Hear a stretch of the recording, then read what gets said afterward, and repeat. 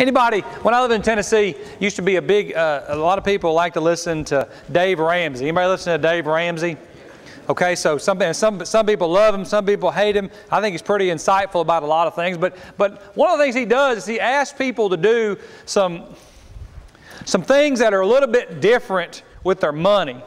Okay, and he's real big on no debt and, and not, not overextending yourself, not going out and borrowing a bunch of money for this and that. And, and it's pretty simple, basically, only buy things that you actually have money for, right? Which, which you wouldn't think it'd be all that revolutionary, but that's not where most people live their lives.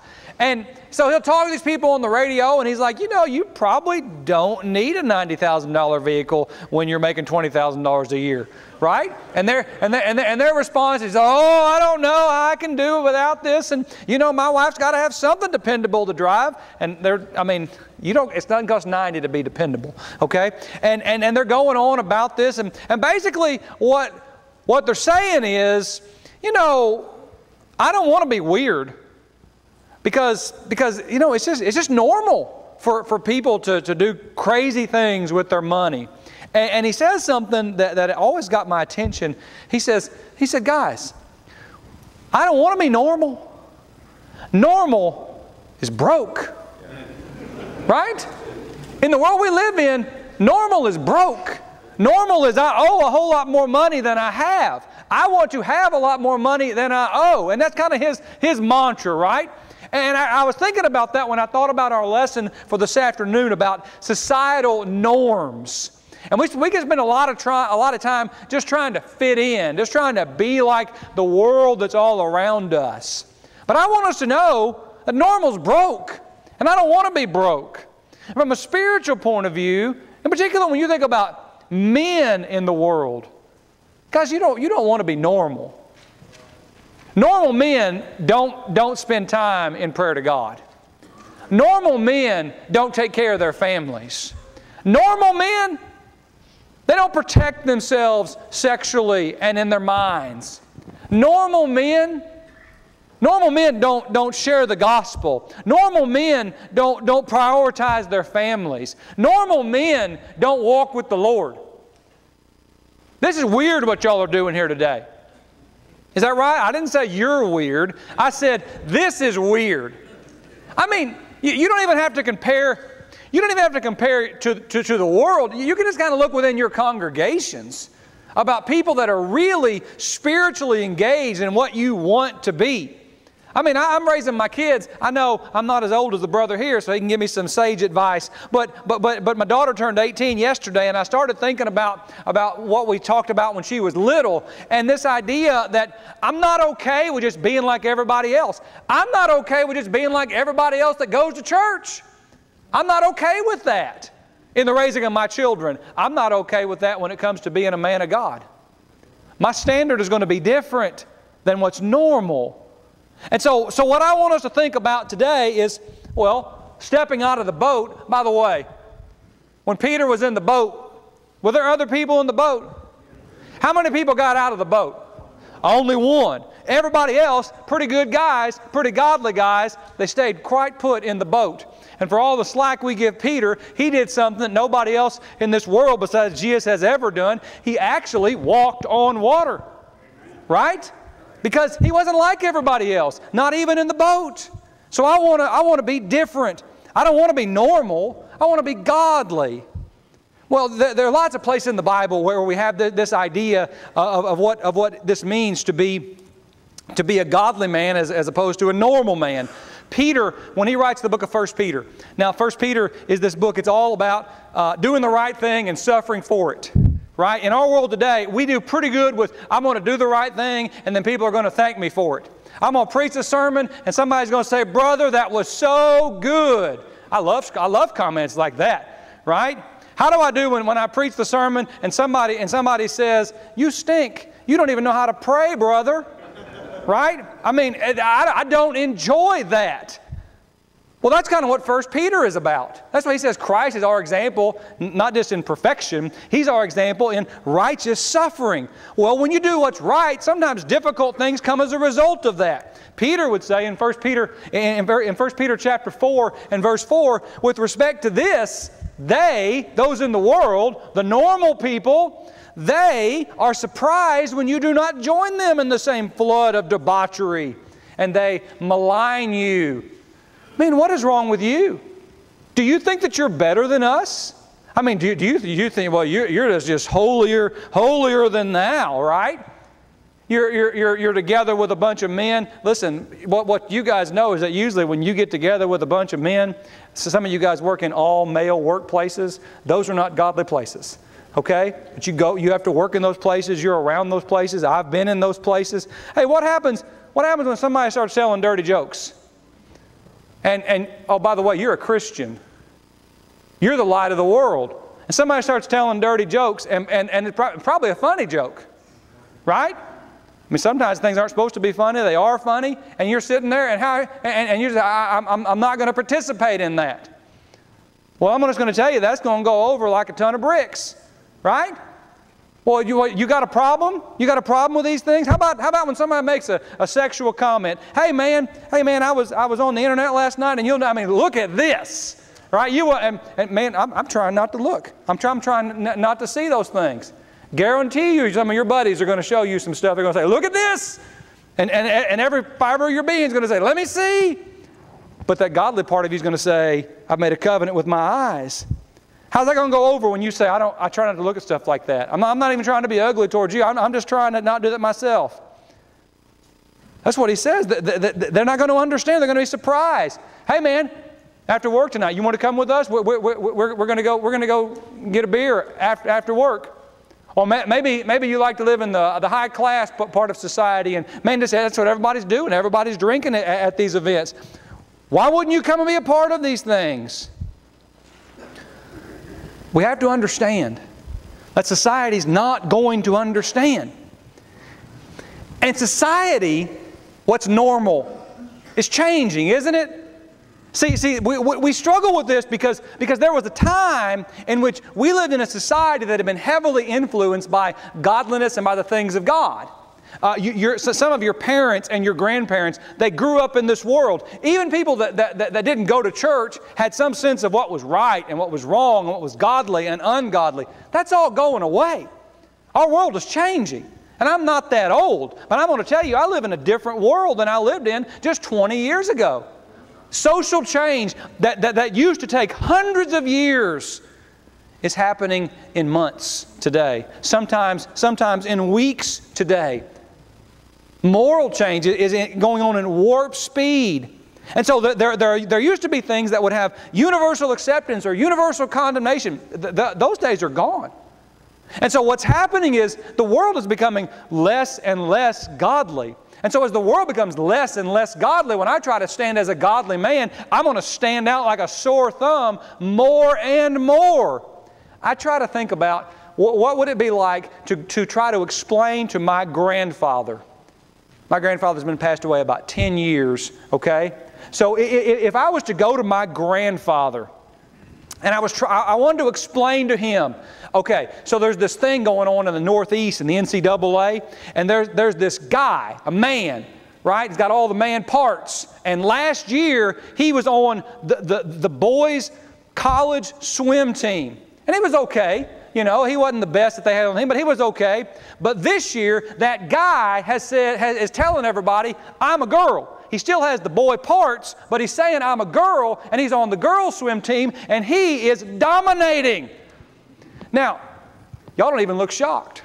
I'm going to tell you, if I said that to my grandpa, do you know what he would say? You have lost your mind. What are you, what, what are you talking about? You got a boy on the girls' swim team I mean, what, what, what is wrong with him? And I said, no, no, no, no. He's, he, you, you, you can't even call him him, right? He and she, I mean, that's, I mean, you, you, I'm just saying that, that we're dealing with things in our world today that you go back into any moment in the pages of history would make absolutely no sense to those people. But that's the world we live in. That's the world we live in, and you don't, you don't have to go off to the edges of the news. I'm telling you that you can go into your local high school and you're going to see these things. Is that a true statement? Shake your head up and down. It's a true statement. That's the world that we live in. If you don't go to the high school, go, go to your local mall and you'll see these things. You see, normal and godly are different. Normal, normal men, normal men look for opportunities to get away from their families. Godly men look for opportunities to grow closer to their families.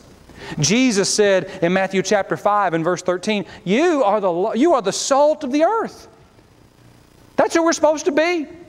But if the salt loses its taste, how shall it be how shall it salt and it be restored? It's no longer good for anything except to be thrown out and trampled under, under people's feet. You are the light of the world. A city set on a hill cannot be hidden. This idea, if all the lights are out, if it's pitch black in here and I turn on a light, and I turn on a light, you're going, you're going to see that, right? Those things are going to stand out. Hey, he's a Christian. Did you know he's a Christian? Would the people that you live with, that, that you work with, if they, were, if, they were, if they were to say that about you, would people be shocked? Would people that you, that, that you spent tons of time with be shocked that you're a Christian? If, if someone were to say, oh yeah, Wes, he's a, he, he's a real American, guys. He's a Dallas Cowboys fan, right? Some of you guys know me. Does that shock you? Somebody says I'm a Dallas Cowboys fan? No, you know I'm patriotic, right? So, so I'm, if, if, if someone were to say, uh, uh, you know Wes, man, he is tight with his money. He loves a good deal on a hamburger right? Brian, does that shock you? Nope, you'd be disappointed in anything less, right? What if somebody said, oh yeah, he's a Christian? Would that shock you? I worked with a guy for like three months, worked right beside him every single day. We got towards the end of the summer, this was I was in college, I was working at, a, at an aluminum factory, and, and we worked together every day. And the end of the summer, he said, oh yeah, I'm a member of the church. And I remember thinking, well, you're not doing a very good job at it, because I didn't even know you were a member of the church. And then I got a little bit older and I was, I was reflecting upon that. I was growing up a little bit and I was thinking about how what a bad job he did of actually being a light of the world. And then I thought, well, you know what? I'm not doing a very good job at it either because I never talked to him about it for the last three months. Right? We're to be a light of the world. Normal men, normal men in the world, they look for ways that they can look cool in front of everyone else. Godly men look for opportunities to look like Jesus in front of men.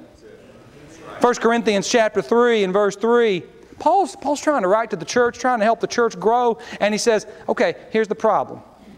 Here's the problem that we're running into that's keeping you from growing. This goes back to that comfort thing.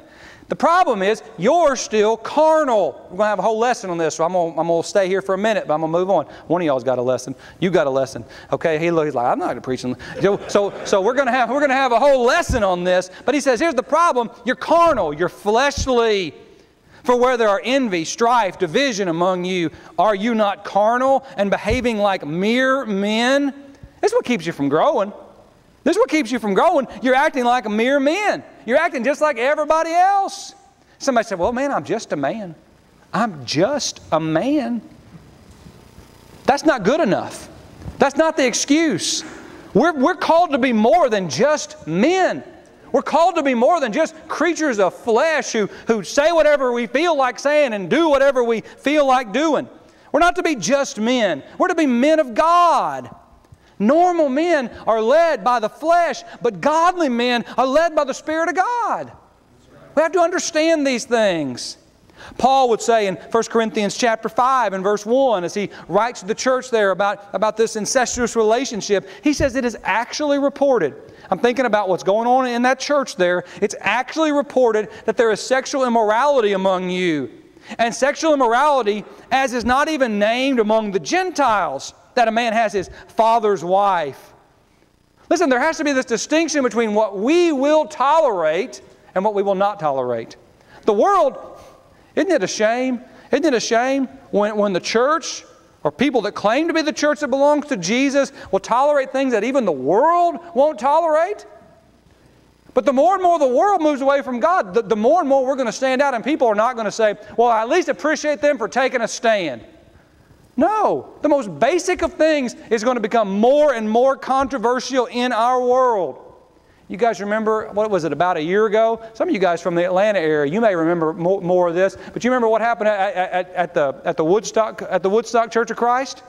And they were, and they were trying to deal with, with a situation, uh, uh a situation up there that they had a, they had a lady I'm going to give you the 10 cent version. You can Google it and get all these details, right? But, but, but, but they had a lady who basically had decided to leave her family, to leave her husband, to leave her children in order to enter into a lesbian relationship. Okay? Anybody in here want to justify that? No, that's crazy. What in the world's going on there? And the church would reach out to her, they would try to, try to encourage her, try to bring her back, and she wouldn't respond, so on and so forth. Right until they, they, got, they got to the end of, of this whole process, and they said, Listen, we're going, we're going to make a public announcement that we are no longer in fellowship. Well, duh, you left your family and you're entered into an active lesbian relationship. That, that, that in, in, what world would anybody, even that person, think that, that they're still in relationship with Christ? And so they sent her this letter. You know what happened? Everything erupted. Social media happened. Everything, everything be, began to erupt, and it was all over social media, thousands and thousands of posts. You can read about it in the Atlanta Journal Constitution. There's a couple different articles that, that, that were written about this, that there were elders in the church who had their names out front there, right? And that, they started to, to receive death threats. There were people that lost their jobs there was, a, there was a protest that was playing at that congregation. They went down, they, they filed out the paperwork. The police came and said, Listen, next Sunday morning, we expect there to be 200 to 300 people right here in this congregation, and they're not. They're not godly people that are coming. That, that's the world we live in, right? And, and the police were telling, we'll have a police presence here, we'll have them, we'll have them in, in their, in their uniforms, and we're going to have police here, even, even mixed among the people in, in plain clothes, because we're fearful of what's going to happen. I'm not, that, that's, I'm not talking about the Middle East. I'm talking about Georgia, right? I'm talking about the Bible Belt, right? Not the buckle like Tennessee, but it's still the Bible Belt where those things are happening. And I mean, and these, I talked to one of their members who has small children, and, and, and, she, and she, was, she was telling me, she said, and I'm struggling to know what to do. I mean, do I take my children to church? Do I take them to that place where I know there are going to be people that are going to be mad and angry and vile? What do I do? I'm just telling us that those are the things where, where we got we got to learn to step out the boat. And it is scary. I'm telling you, if you tell me that tomorrow there's going to be 200 people show up at Forest Park uh, as, as an angry mob, I'm going to be nervous about it. I'm going to be anxious about those things. And I need to turn to the Lord. I need to get out of the boat and not be guided just by societal norms. Why? Peter says, because you are a chosen race, a, a royal priesthood, a holy nation, a people for his own possession I mean, your Bible say you are a peculiar people. This is supposed to be something different. You're called out from the world. Why? That you may proclaim the excellencies of Him who called you out of darkness into His marvelous light. Normal men talk about the things of the world. Godly men proclaim the words and proclaim through their words and through their deeds the glory of God. We must not be guided by what the world looks like around us. See, the problem is the problem is that the world has started to influence our, our view of the church rather than the church influencing the world's view of God. We see that all the time. Just talk to someone. Let someone start sharing their thoughts or their theology about who God is or the nature of God or what the church ought to look like. And I'm going to tell you, 90% of the time, you, are going, to get something that has zero to do with God's revelation, everything to do with what the world is saying about what God is. And so the world is defining Christianity. And people that don't know any better, people that aren't reading their Bibles, are just buying it and being influenced by those things. That's why you see churches. That's why you see churches openly supporting the most vile and sinful activities that the, that the Word clearly condemns. But yet people are, people are standing up and they're saying, well, yeah, we're a church and we, we accept everyone just as they are. Well, anyone can come to Christ just as they are, but no one stays just as they are. That's true about other people, and it's true about me, and it's true about you. We got to get out of the boat of societal norms. We have to understand Christians can't be in love with the world. Now, you all know that, right? Everybody knows I'm, I'm, not supposed to love the world. I'm supposed to, I'm, uh, uh, you know, I, am supposed, to, I'm supposed to, I'm supposed to understand that, that we're opposed to the world. Now, I know that the, that the Bible says God loves the world. That's not the type of love we're talking about here, right? We're, we're talking about the things of the world, not the people of the world. Do not love the world nor the things in the world. If anyone loves the world, the love of the Father is not in him. For all that is in the world, the desires of the flesh, the desires of the eyes, the pride of life, it's not from the Father, but it's from the world. So, what are the things of the world? Well, we've already listed several of them, right? Women, money, career and advancement, entertainment. See, all those, all those things good? Now, I don't like women, but I like a woman, right? That's, that's the blessing of God. I don't want my life to be, to be all about money, but I do appreciate the raise I got last year. Thank you, guys, very much, right? I mean, all, all, these things, there's nothing wrong. Having a job is better than not having a job. I like to watch, you know, I like to sit down and relax every once in a while. But what happens is these things that are good things, they're blessings, they become idols. They become the things that drive men.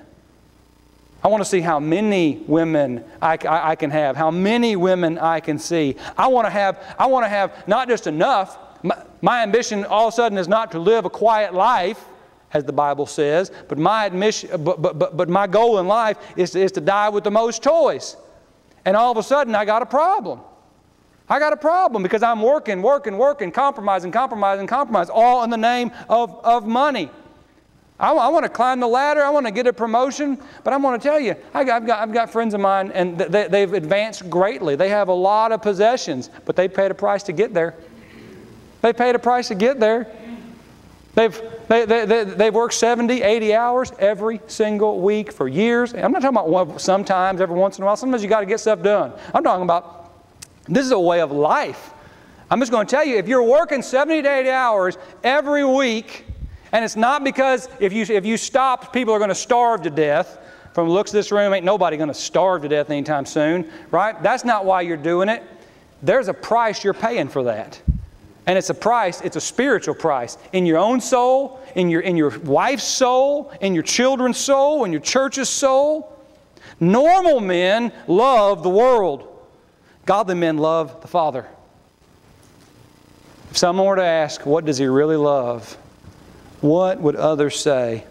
We got examples like Demas in 1 John 4. This is the same book, so it's risen Demas came out in my mind. But in Demas, uh, in 1 John 4 and verse 10, Demas in love with this present world. D- Demas a good guy or a bad guy?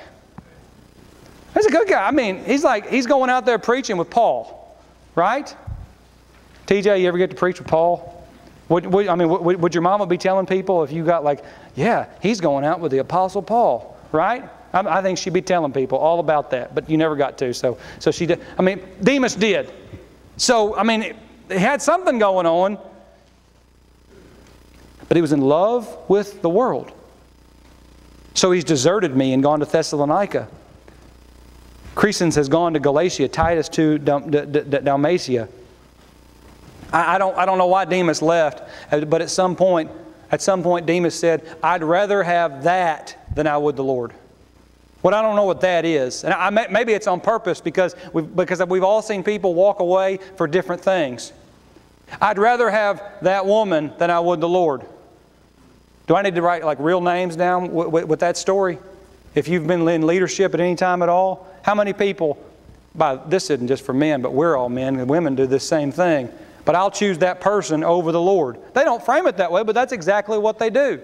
I'd rather have that money than I would have the Lord. That's why you see churches that will compromise in terms of what is right and wrong. I know it happens, right? And I know why, because of the pressures. I mean, money's got real pressure, right? Right? So all this, but, but the, the choices become guided by these things. I'd rather have that than I would the Lord. We cannot live that way.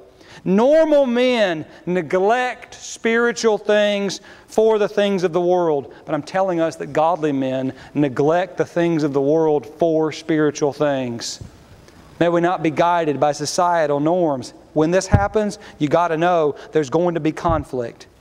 There's going to be conflict.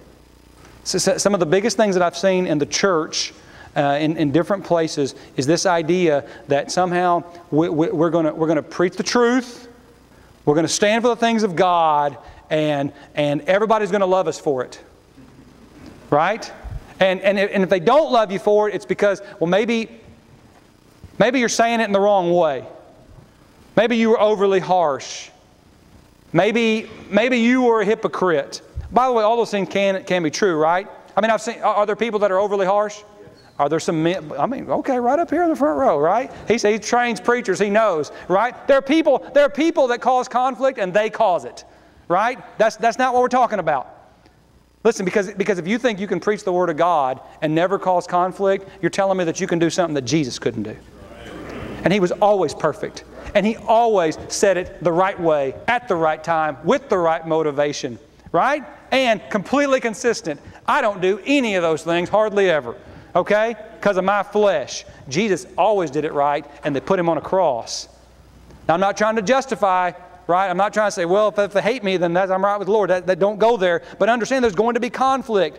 Jesus says, if you are of the world, then the world would love you as its own. But because you're not of the world, I chose you out of the world, therefore the world hates you. You think you can, you think you can live life? You think you can lead your family without conflict? No, you can't. That, that means you're going to have to do some things and be misunderstood. You're going to, I hate being misunderstood. You ever have someone explain to you why you did what you did? I mean, just hold on tight when that's, I mean, because it's always bad, right? Like, you, what kind of terrible person do you think I am? That's, that's going to happen. And I, I got to be okay with that, right? It's what Peter says. I mean, I, have got to take that, take that trust that when people slander, slander you, that they're the ones that will be put to shame. People that know, know, and people that don't know are never going to know. And I got to be okay with that because the Lord knows. You, you, you, can't raise your sons and your daughters. You can't lead your home. You can't lead your churches without some conflict. Don't, don't be the fighting house or the fighting church, okay? That, that's not what we want to be. But there's going to be conflict. This fight's coming whether you want it or not. Those, those people in Ukraine right now, listen, they don't want a war. But apparently a war showed up. That's the only kind of wars we ought to be fighting in the church. I don't, I don't want to fight. As much as depends upon me, I'm going to what? Be at peace with all men, right? Man, I want people to say, if Wes is fighting, somebody, somebody made him fight. Because he is not easily provoked. When he is reviled, he does not revile in return. See, that's what Jesus did, but that's what you're supposed to do with your wife. Well, she provoked me. I had somebody say that. He, she, she provoked me. So? So, what's the qualification of an elder, of a godly man? Not easily provoked. Not easy. I had an elder pitch a big old hissy fit right there in front, right there in front of the church. Okay? And his wife said, Well, he was provoked. He was provoked. I'm not doubting that. That didn't make it right. Right? So, so understand the conflict is coming. Be ready for it. Normal men hide in a hole. Godly men stand on the rock. Listen, we got to be different because we're going to be different in the judgment. Jesus said, Jesus said in Matthew chapter 25, verse 32, before him will be gathered all the nations, and he will separate people one from another as a shepherd separates the sheep from the goats. I got to be different in the world because we're going to be different in eternity. See, in, in your booklet, um, there, there's a there are these these tributes, uh, honorariums, uh, and one, one of them is for is for our brother Spin Broom, who always led singing here. He led singing at Forest Park. Um, he was he was my lunch buddy. We we hit every restaurant in town pretty regular, and with lots of good memories. And he loved he loved loved coming to standing in the gap, um, and he passed away. His time in this world is gone. And, And I talked to Renee this morning. I shared with her what you guys had put in the book, and she wanted me to thank you for it. Uh, it really, really means a lot to her, and I'll take that to her. But his time in this world is gone. Can, can I tell you? I, I don't have any doubts about where he's at today. I don't have those doubts. I mean, we, we grieve, but we do not grieve as those who have no hope. Our home is in heaven. Let not your heart be troubled, right? Isn't that what Jesus says? He has gone to prepare a place for us, and if it were not so, He would have told us. He told us it's the opposite. He said, I did go to prepare a place for you. So, so I, I desperately want to be different in eternity. Uh, by the way, because normal is lost. Isn't that right? Isn't that what Jesus says? In, in Matthew chapter 7, he says, he says, There is a broad way that many will find, and there is a narrow way that few will find. Normal's broke, normal is lost. Normal men perish, but godly men abide with the Lord forever.